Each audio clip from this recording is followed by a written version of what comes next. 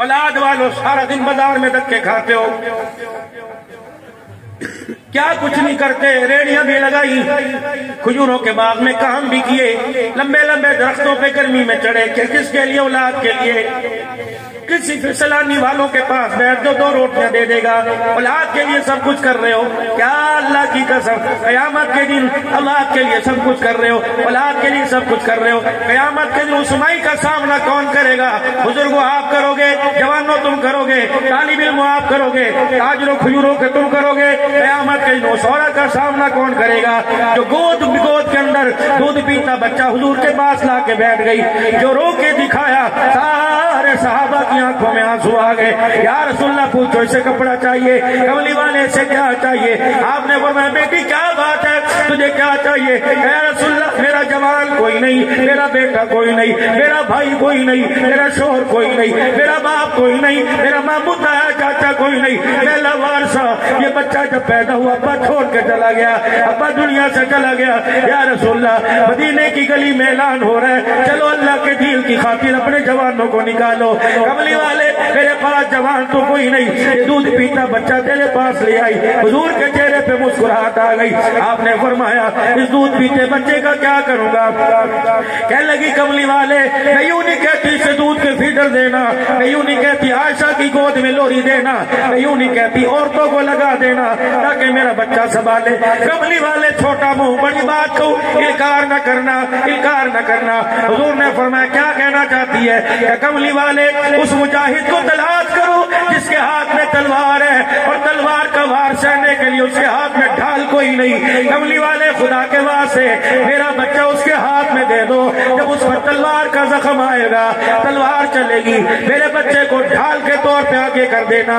दुश्मन की तलवार मेरे बच्चे के गले लगेगी। चीरेगी, खून का कतरा ज़मीन पे करेगा कयामत के दिन मैं भी शहीदों की माँ कहलाने वाली है।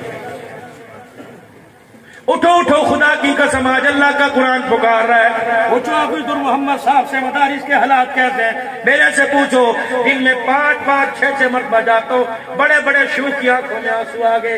अहले हदीस बड़े बड़े शेखुल हदीस ने मेरे अजीजों, एक मदरसे से दूसरे मदरसे में मोहतमी हजरात ने बच्चे मुंतकिल कर दिए। रोटी का इंतज़ाम कोई नहीं। राशन देने वालों ने खर्चा बंद कर दिया। आटा देने वालों ने कहा, हाथ खड़े, क्या करे? मर गए मर गए। और लोगों, ये नबी के मेहमान है। इनका चेहरा तकना भी सवाब है। इनके कदमों की धूल को चूमना भी सवाब है। इनसे मुसाफा करना भी सवाब है। और लोगों, इनके लिए कुरान की खिदमत करना सवाब है। तेरे बच्चे मक्खन खाए, तेरे बच्चे परोठे खाए, तेरे बच्चे बर्गर खाए, तेरे बच्चे चिकन टिक्का खाए, तेरे बच्चे शबार में खाए। पूछ तो सही, कितने दिन हो गए गोश्त खाए हुए?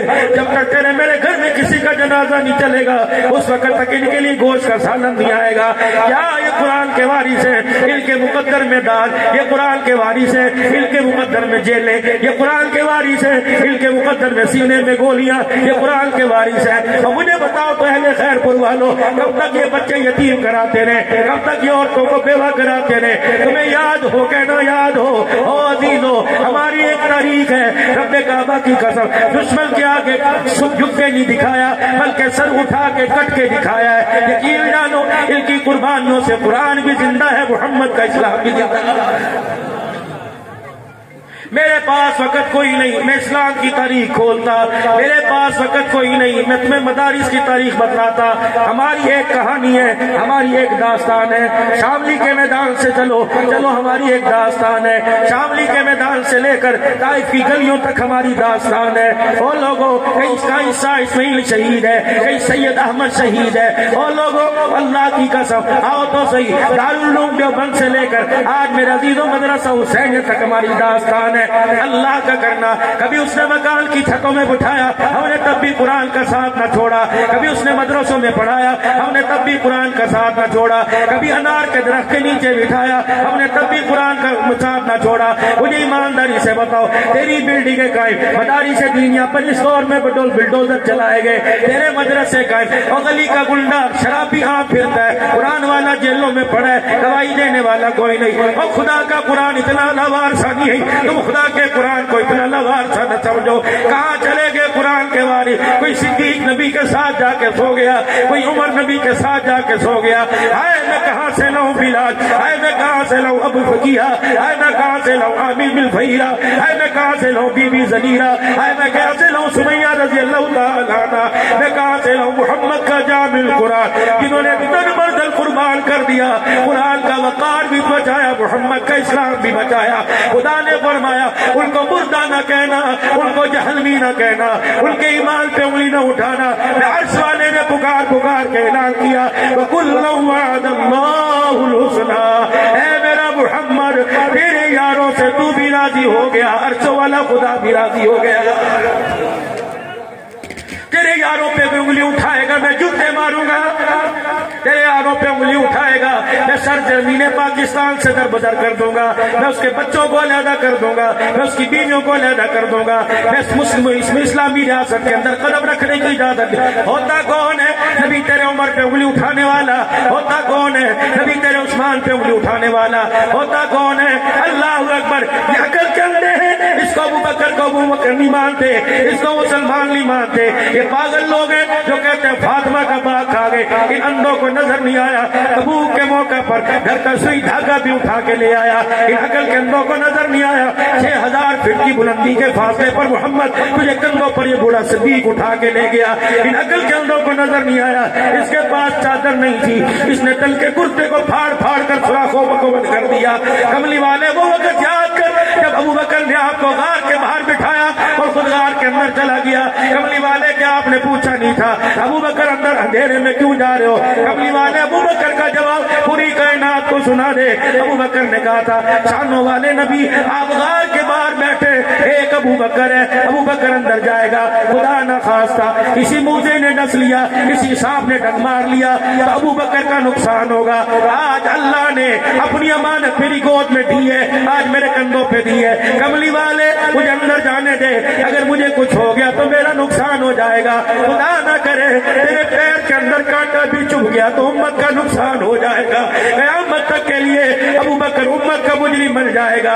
नबूवत की आँखों में आँसू आ गए अल्लाह अकबर। बढ़ते मोहब्बत ने फरमाया, यारा प्यार यारी पक्की कर, अगर तेरी तरफ़ से यारी पक्की फिर मेरी तरफ़ से भी यारी पक्की कोई नहीं। अबू बकर, रातें तीन है, दुश्मन मेरे पहरेदार तू बन जा। कयामत तक दुश्मन तेरे पैदा होंगे। मोहम्मद सीने से लगाकर, रोज़े में सुना कर कयामत की सुबह तक तेरी चौकीदारी करेगा।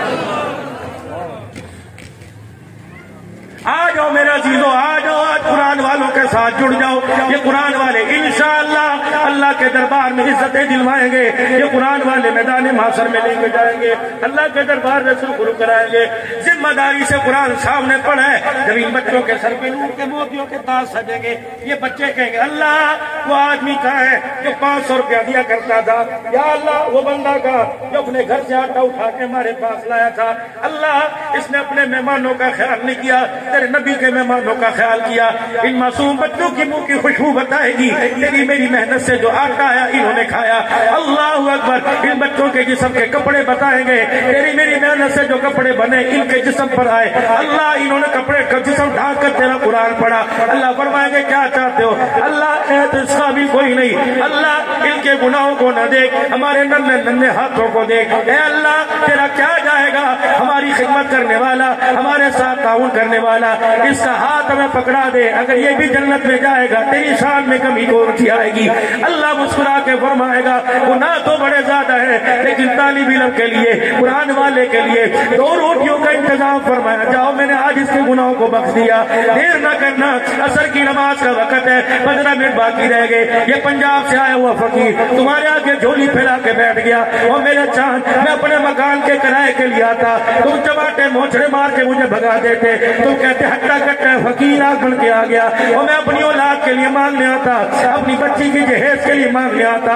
तो खैरपुर में मुझे दाखिल होने न देते। आज मैं पगड़ी तुम्हारे पैरों में रखकर, आज मैं झोली फैलाकर मोहम्मद के मेहमानों के लिए मांगने आया।